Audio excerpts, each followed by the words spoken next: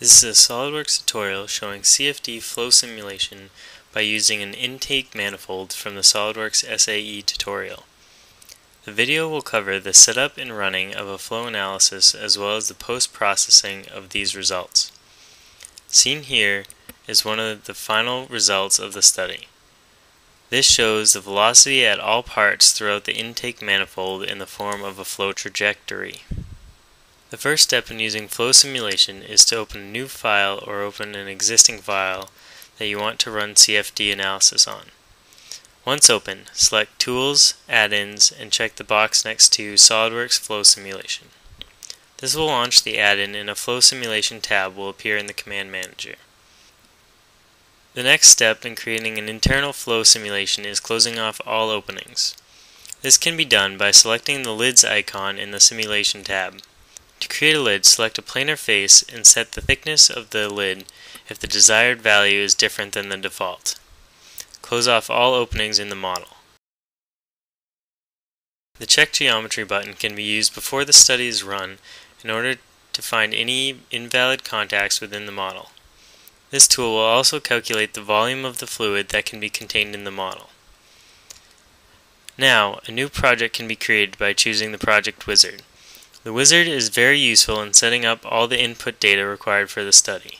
These conditions can be set up without using the wizard, but this way it brings it up right from the beginning. Give the project a name and click Next. Here, the units as well as the precision can be modified. The next window allows you to select the type of flow, which in this case is internal, as well as the ability to take other factors into consideration such as gravity. After clicking Next, the fluid or fluids that are being used in the project can be added. Choose the fluid, which in this case is air, and then click Add. The wall conditions on the next page can be left as the default values as well as the initial conditions on the page after that. The Results and Geometry Resolution page lets you specify the size of the mesh that will be created as well as if there is a minimum wall thickness required. Once Finish is clicked, a box will appear around the model. This box is the computational domain and the simulation is solved within these boundaries. Any of the settings that were just modified can be changed if needed by right-clicking Input Data and selecting the desired setting. The next step is to insert boundary conditions. By right-clicking Boundary Conditions and selecting Insert, the inlet velocity can be set up. Right-click a lid and click Select Other. Choose the face of the lid that is on the inside of the model and would be touching the fluid. Select the type of inlet or outlet and assign a value for it, which in this case is a velocity inlet with a value of 22 meters per second. The other faces need to be set up with boundary conditions as well. In this case, they are pressure openings at environmental pressure. Goals can be set up for the areas and parameters of interest. For this model, surface goals are created for the volume flow rate of each opening. To insert a new goal, right-click Goals and select Surface Goals. Select the face of interest and then choose the parameter that is desired for that face. Goals are set up for all of the openings. These goals use the internal surface of the lid and measure the volume flow rate through it.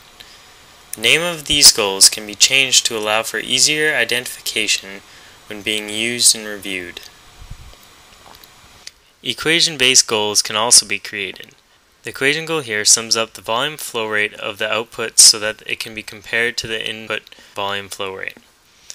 At this point, the study can be run. Once the study has finished calculating the results, it can be viewed in a number of different ways. To aid in the viewing of these results, the transparency of the model can be changed by selecting Flow Simulation Display on the Flow Simulation tab, then Transparency. One way to view results is through a cut plot, which is a cross-sectional view of the results and can be inserted by right-clicking cut plots and selecting Insert. Choose the plane that will be used in the cross-section. By double-clicking on the legend, the parameters as well as the number of colors in the plot can be changed. Another method of viewing the results is by using a flow trajectory.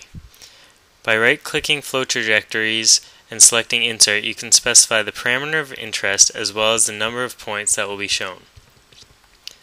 To view the results of the goals that were set up earlier, right-click Goal Plots in the Flow Simulation tree and select Insert. Select all goals and an Excel spreadsheet will be created. Note that the sum of the outlet volume flow rates equals that of the inlet volume flow rate.